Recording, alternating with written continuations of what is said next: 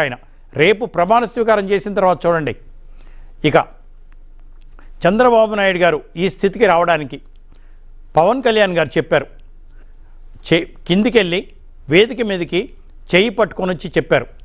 ఓ ఇద్దరు అపూర్వ కలయిక. ఎంత బాగుంది కదా. ఎన్ని రోజుల తర్వాత పవన్ కళ్యాణ్ గారు చంద్రబాబు నాయుడు గారు మనసారా నవ్వుకున్నారు. ఎన్ని నిద్రలేని రాత్రులు గడిపారు. ఎన్ని భోజనం చేయకుండా ఎన్ని రోజులు ఉన్నారు. ఎంత కష్టపడ్డారు ఎన్ని తిట్లు తిన్నారు ఎంత అవహేళన జరిగింది ఇంటి వాళ్ళని కూడా అవమానించారు కదా. అసలు ఎప్పుడూ బయటకు రాని భువనేశ్వరి మేడంని ఎంత అవమానించారు లోకేష్ గారిని ఎంత అవమానించారు పవన్ కళ్యాణ్ గారి కుటుంబాన్ని మొత్తం బయటకు లాగారు కదా. కుటుంబాన్ని నిలువునా చీల్చారు కదా. ఎస్ పవన్ పవన్ కళ్యాణ్ గారి కుటుంబాన్ని చీల్చారు కూడా. అందుకే కదా నంద్యా నంద్యాల వాళ్ళ ఇంట్లో ఒక మనిషి వెళ్ళి మరి ప్రచారం చేసి వచ్చింది వైసీపీకి.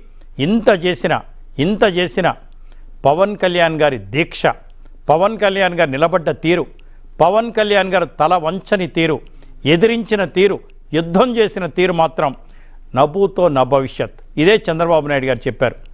పవన్ కళ్యాణ్ గారికి ముఖ్యమంత్రి అయినా డిప్యూటీ ముఖ్యమంత్రి అయినా చాలా తక్కువ.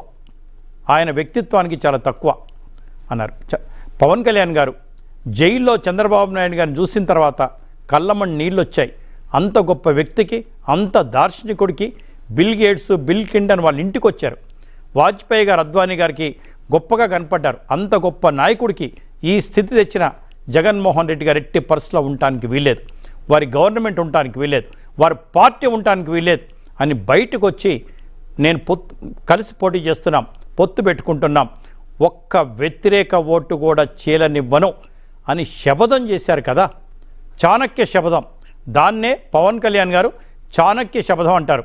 ఆ తర్వాత ఎన్ని ఎదుర్కొన్నా ఎన్ని అవమాన ఎదురున్నా ముద్రడ పద్మనాభం గారు హరిరామ జోగయ్య గారు అలాంటి వాళ్ళు చాలామంది నువ్వు అరవై సీట్లు అడుగు డెబ్బై సీట్లు అడుగు షేర్ అడుగు అని చెవులో జోరీగల్లాగా ముదిరిన మాట్లాడినా ఎక్కడ తలొగ్గలేదు.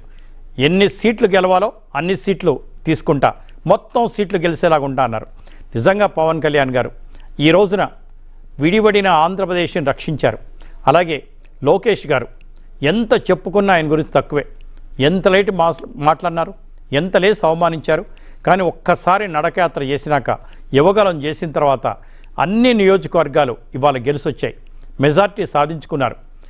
నిజంగా లోకేష్ గారు పవన్ కళ్యాణ్ గారు చంద్రబాబు నాయుడు గారు తెలుగుదేశం పార్టీ కార్యకర్తలు యావత్ ప్రజలకు కూడా ఎంత ధన్యవాదాలు చెప్పినా తక్కువ లేదు.